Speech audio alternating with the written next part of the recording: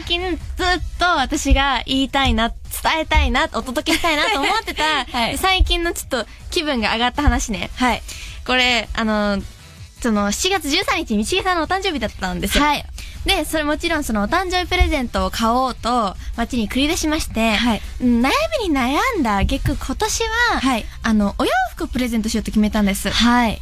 で、その、お目当てのお店に行きました。はい。で、その、お洋服これがいいかなって思ったものを、はい。あの、着心地ってあるじゃない？はい。それで、そこの着心地の面でも、道重さんに不快な思いをさせたくないと思ったから、もちろん試着もしたんですよ、自分で。はいで、その、試着お願いしますって店員さんに言った時点で、うんなんか店員さんはその時点で私がうん買うものだと思ってしまって、うんうんうん。で、あの、あ、なんかそのピンクのお洋服だったんだけど、うんもうその試着しました。うんで、そのカーテンを開けましたって言ったら、ピンクが似合うって言ってた私が着てるところで褒め出したのね。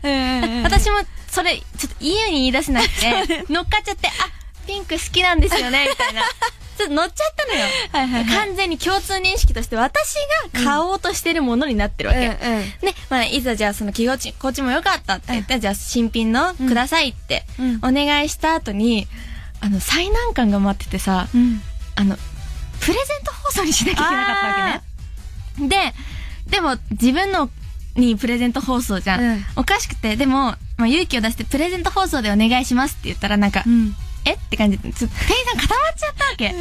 で、なんかちょっと引いてる感じがあって、なん自分にプレゼントみたいな。で あ、ちょっと待って、これはあかんと思って、うん。あ、え、ふ、あ、双子の姉がいまして、えそれが途端に嘘ついちゃって、で、なんかその、双子の姉はで、なんか、その、自分に着てらしたんですね、みたいな。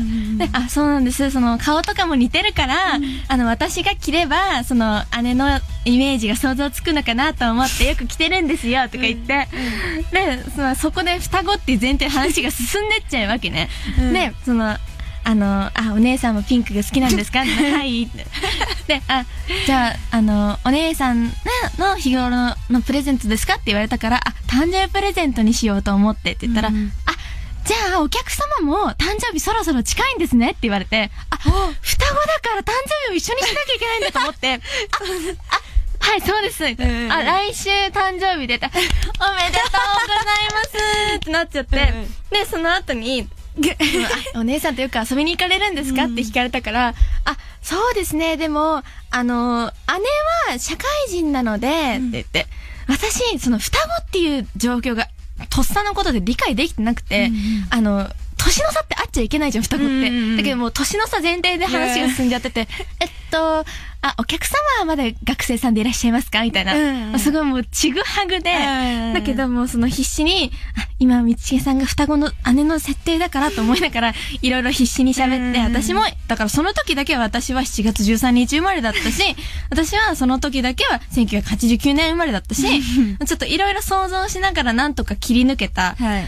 ところだったんだけど、ヒヤヒヤしながらも、道重さんが双子の姉だったらっていう状況に、うん。数分間だけ慣れて、うんちょっとそれはそれで幸せだったなって思いましたね。とんでもない嘘だね。うん、ちょっとあれはね、でもね、人って嘘つくものじゃないなって思ったい。や、すごいね。ん前だったら絶対つけないから。うん、そんな、とっさにそんなすごい嘘つけない。でもあれはちょっと後悔した。あの、嘘をつくには爪が甘すぎたね。後で、その、うんそれがね、うん発言者が、うん山木りさだってことがバレたらとんでもないよ。そう、そうなのよね。そこがね。そう。だから、でもね、うん、知られないで幸せになれたんならそれでよかったよ。うん、あの数分間は、ちょっと良かったね。夢見心地でしたね。そうだね。